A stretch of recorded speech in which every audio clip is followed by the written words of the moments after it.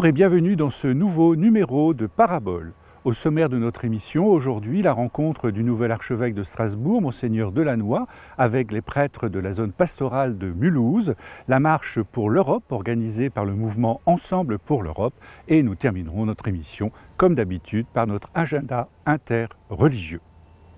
Cela fait quelques semaines que Monseigneur Delannoy est devenu archevêque de Strasbourg. Depuis ce temps, il rencontre divers euh, éléments du diocèse et diverses personnes du diocèse. Il rencontrait l'autre jour à Mulhouse les prêtres de la zone pastorale.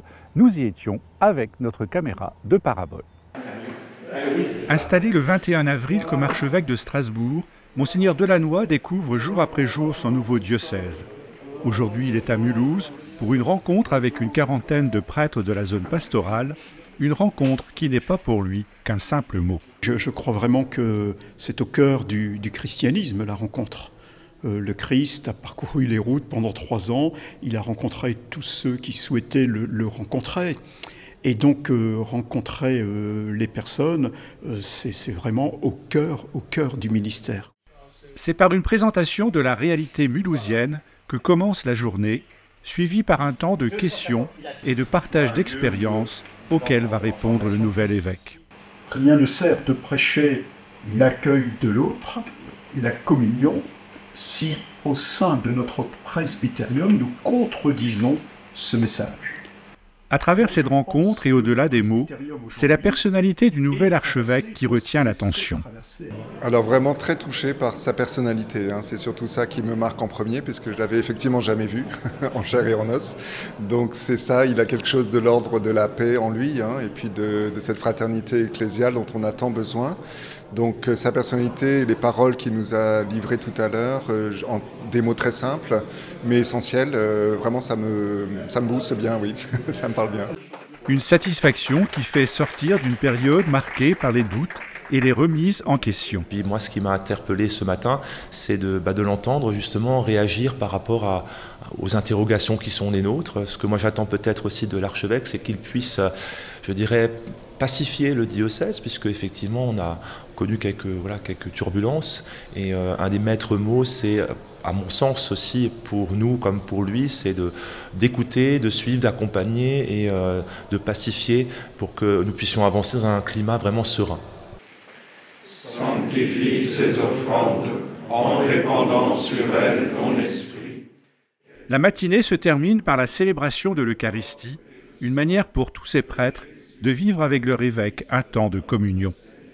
Bah, c'est une très belle rencontre, en toute simplicité, toute fraternité. On est heureux de, l'accueillir dans, la zone. Et c'était aussi une très belle occasion de, voilà, de nous voir tous les confrères réunis, entre les plus jeunes et les plus âgés, voilà, de, tout coin de la zone pastorale et puis de tout âge et de toute euh, insertion pastorale. Voilà, c'était un bon signe de fraternité et de communion de nous rassembler autour de lui.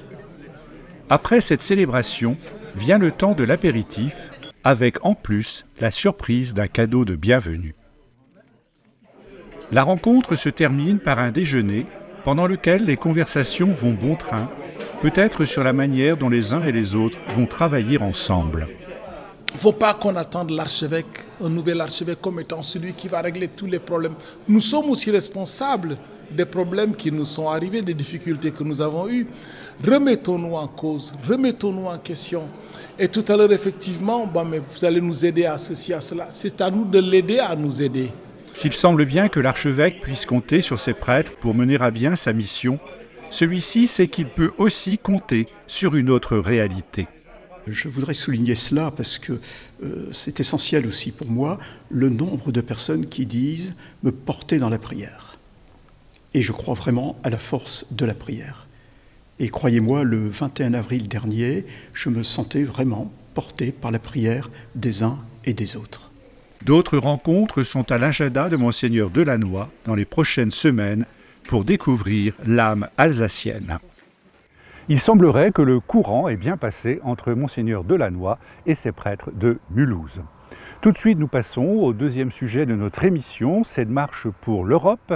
Elle était organisée par le mouvement Ensemble pour l'Europe à l'occasion des élections au Parlement européen. Nous avons passé l'après-midi avec tous ces militants européens, un sujet réalisé avec Pierre Niederkorn.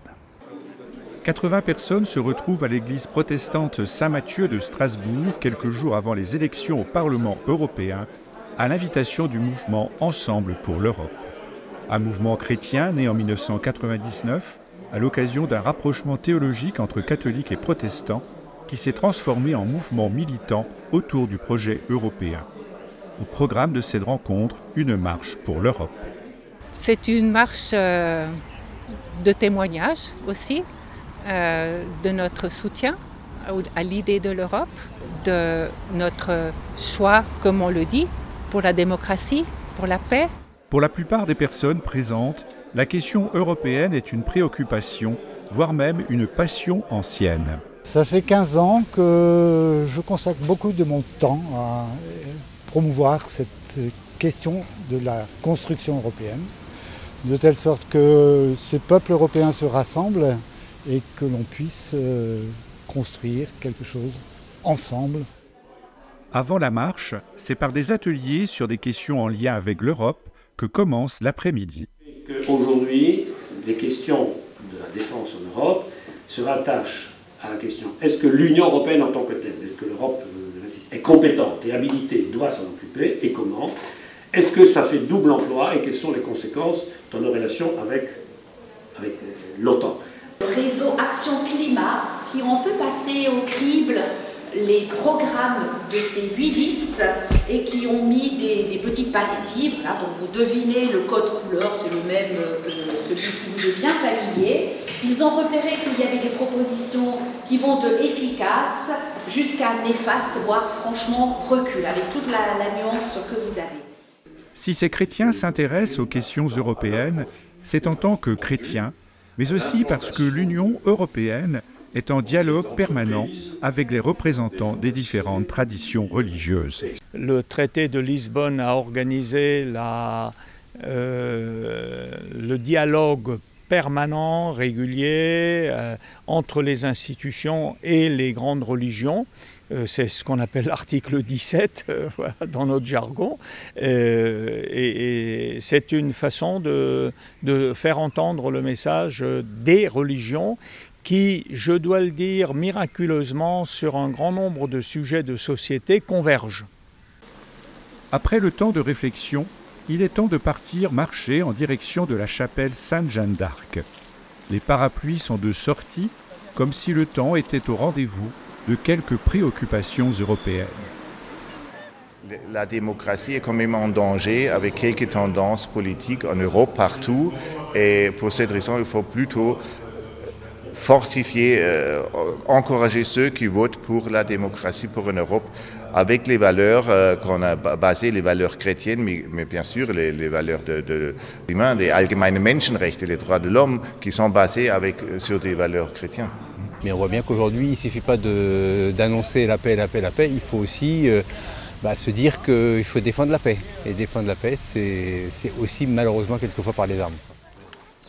Après avoir traversé le Rhin au jardin des deux rives, la marche se termine à l'église catholique Jean Népomucène de Kiel. Une fin de journée qui invite à formuler des convictions fortes autour du projet européen. Je pense que l'Europe est un projet, euh, on a dit, d'inspiration chrétienne, euh, mais qui dans son essence euh, est fondamentalement humaniste et chrétien. Euh, parce qu'il invite à sortir euh, de soi-même pour aller vers l'autre, pour essayer de découvrir la part de vérité qui est dans l'autre, euh, pour construire quelque chose de, de commun. C'est bien ce souci du bien commun dont cette marche voulait témoigner. Pour l'Europe, Vive l'Europe donc Et tout de suite, nous passons à notre agenda interreligieux. La communauté musulmane fête l'Aïd el-Kébir le lundi 17 juin. Fête importante dans l'islam, elle commémore le sacrifice d'Abraham qui s'apprêtait à immoler son fils lorsque Dieu retient son bras et l'invite à sacrifier un bélier. Les communautés catholiques et orthodoxes célèbrent la nativité de Jean-Baptiste le 24 juin, prophète qui a annoncé la venue du Messie et qui a baptisé Jésus dans le Jourdain. Cette fête, fixée au 24 juin, six mois avant Noël, correspond également à quelques jours près à la date du solstice d'été. Ainsi se termine notre émission. À bientôt pour un nouveau numéro de Parabole.